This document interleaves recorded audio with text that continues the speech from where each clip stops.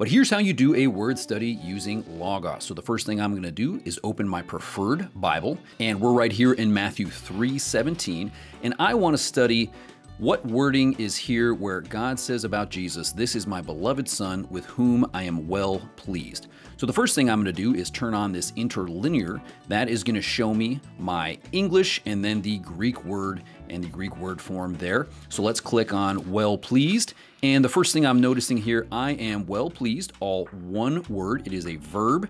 And here is our Greek word. So, if I want to study this a little bit more thoroughly, I'm going to right click on that word come directly up to Bible Word Study.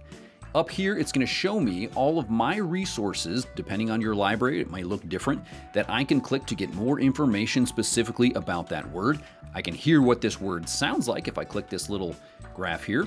Eudokeo. All right, let's come down here a little bit to translation. This is giving me my Greek word, my translation of that word, and these words here represent how that word is translated in my preferred Bible. Right here, it's saying I'm in the ESV.